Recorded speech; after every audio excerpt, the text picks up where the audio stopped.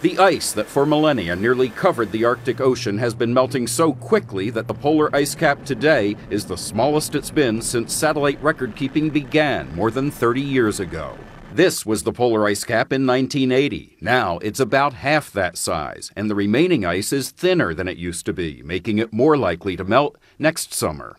David Robinson, a climatologist with Rutgers University, says the record for melting Arctic sea ice was shattered in 2007. We thought that might be the record for quite a while. And here we are just five years later, and we've shattered that record. We're seeing uh, losses of sea ice I never thought I'd see in my career.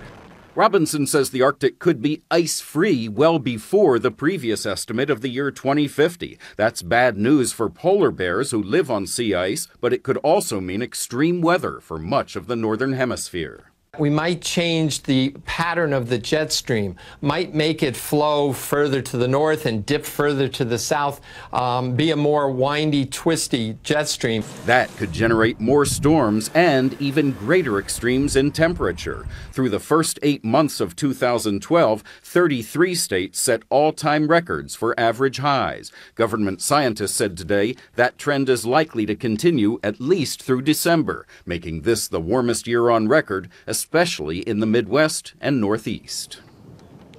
There's one possible piece of good news in all this, Scott. Scientists say that if that jet stream does become more windy, twisty, that could mean more rain for the South and for the Great Plains. Rain that's desperately needed after years of drought.